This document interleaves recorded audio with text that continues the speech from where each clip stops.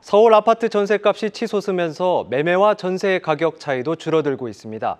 전세를 끼고 집을 산 뒤 곧바로 세를 내주는 임대인이 늘어나고 지방 거주민들의 투자도 늘어나는 모습입니다. 성나균 기자입니다. 서울 아파트 전세 가격은 지난주까지 57주 연속으로 상승했습니다. 전세값이 치솟자 매매 가격과의 차이가 줄면서 전세가율도 덩달아 올랐습니다.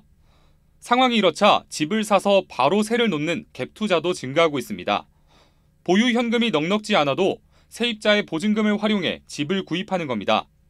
실제 1분기 서울 아파트를 대상으로 한 갭 투자는 전체 거래의 7% 수준으로 집계됐습니다. 특히 마용성 지역에서 일어난 매매 10건 중 2건이 갭 투자였습니다. 지방 거주민들의 원정 투자도 늘었습니다.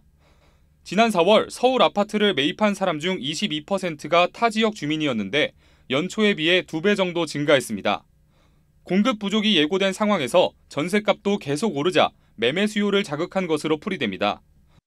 향후 2년, 3년 사이에 수도권 쪽에서의 신축 입주가 부족할 게 일단 확인이 된 상황이다 보니까 의사결정을 뒤로 미룰 만큼 여유가 있는 상황이 아닌 거죠.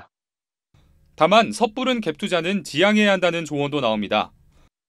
좀 조심할 필요는 있을 것 같아요. 어쨌든 자기 자본이 아직까지는 많이 들어가는 상황이고 적어도 한 60% 정도 이상 매매 전세 갭이 붙었을 때가 지금보다 좀 유효할 것으로 생각이 되고 있거든요.